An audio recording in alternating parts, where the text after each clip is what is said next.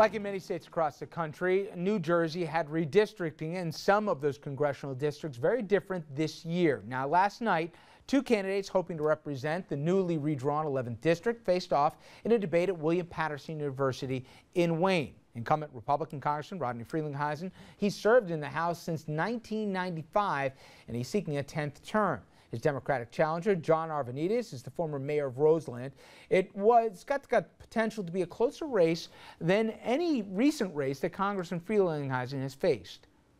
Now, this new district, it's more Democratic than years past, where party registration is given the GOP uh, members like Frelinghuysen a seven percentage, a seven percent boost. Now that advantage, it's been whittled down to about five points. The debate it was sponsored by our friends at the Record of New Jersey, and it was moderated by yours truly for FiOS One News. The debate it covered a wide variety of topics, including healthcare reform, equal pay for women, mass transit, investment.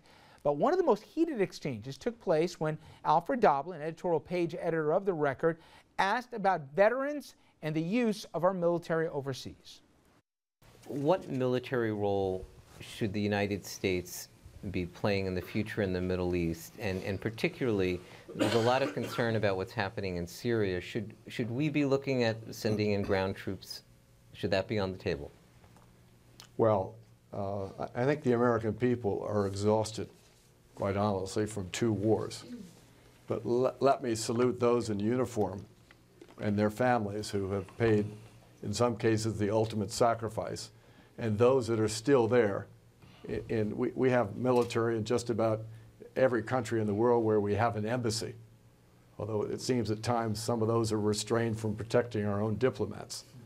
But let me say that uh, uh, we, we are still the world's superpower. And I think we, we, we demonstrate through our actions, hopefully, that uh, we, we have the interests of freedom and opportunity foremost in our mind. I, I, I am not interested in putting troops into the Syrian situation. I serve on the Defense Appropriations Committee. I serve on the House Intelligence Committee with the Republicans and Democrats. We have as a pending disaster, this is nothing political about this in Syria. If Assad falls, 52% of that country are minorities. We could have a refugee disaster even worse than it is today. So I, my, my focus is let's be supportive of, of what the president's doing, but let's keep our eyes open. A, a far more serious problem, obviously, is Iran, uh, their, their potential to acquire a nuclear weapon, and their stated objective, their stated objective to make us their foremost enemy as well as the state of Israel. That is unacceptable. Syria is, is a problem, but Iran is a bigger problem. The order that I believe we should handle the Middle East is diplomacy, sanctions, and war as a last resort. Sanctions that have been put in place in Iran are crippling their economy right now. They're working. We need to let those types of sanctions work. Give it time. With regard to our allies, we need to protect the interests of our allies.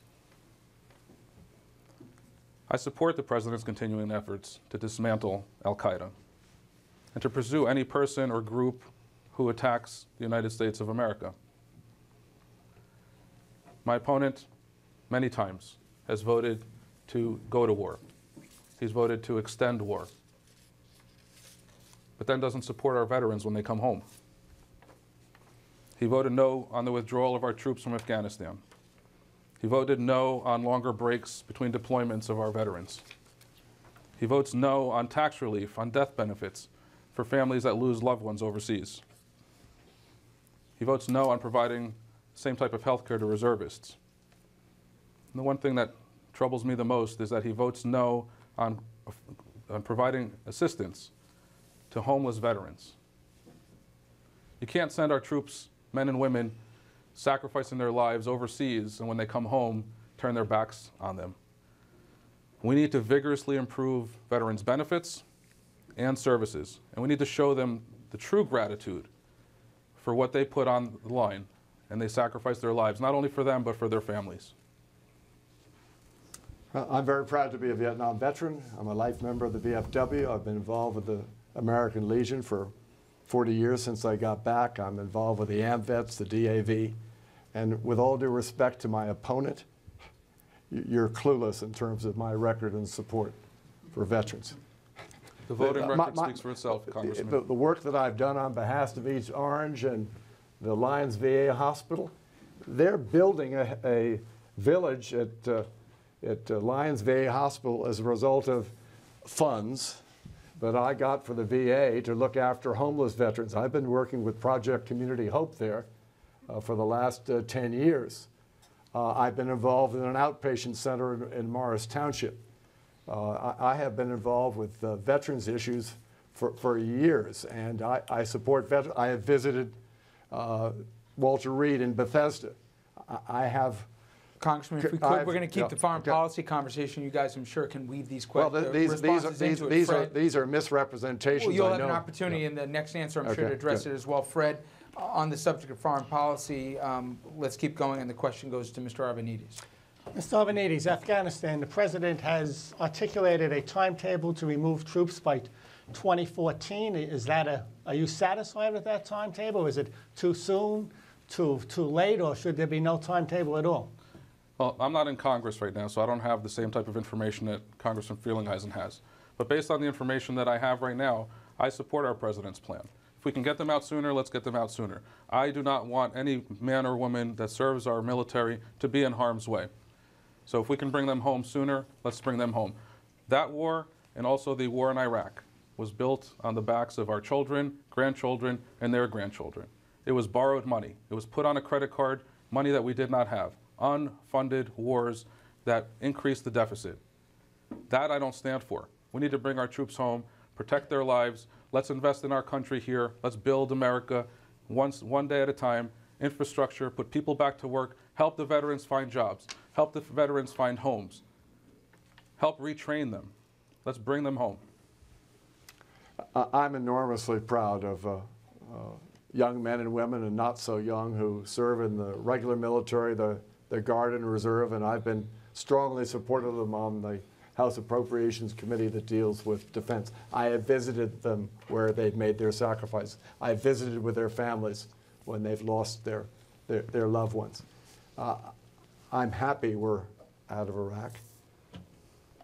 I will be happy when we're out of Afghanistan. But we need to make sure that as we depart, we leave some sort of a structure to make sure that we never have the type of attack that we had on our country on September 11, 2001.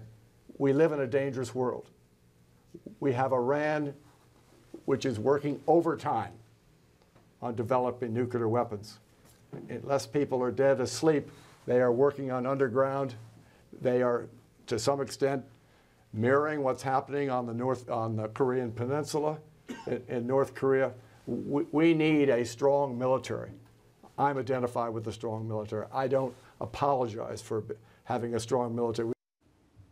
And we'll be right back with more from last night's debate right after this.